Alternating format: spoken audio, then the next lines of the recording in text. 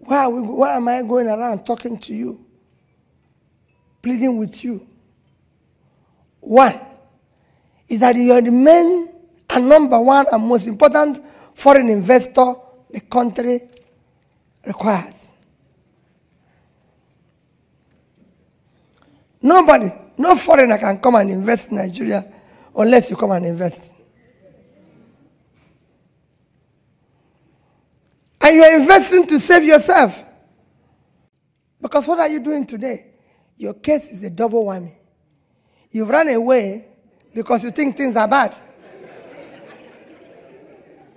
That's why you're here. You didn't, you didn't come here because you want to be here. At least 70% of you. That's true.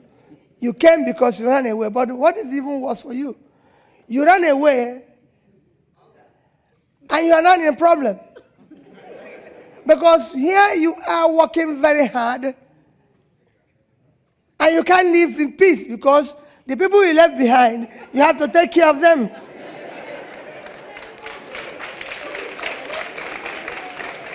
So you have a crisis. Because if you are left on your own, it would have been better. But now, for every 10 calls you receive, it's 10 problems, if not 11. And you can't say no. Because even if you hate them, you will not sleep. Remembering that they are there. They're hungry. You become everything. You are the funeral director. Anybody dies, you have to come and bury the person. You are a doctor. You are a nurse. Because everybody that is sick is looking for you. So they turn you into everything.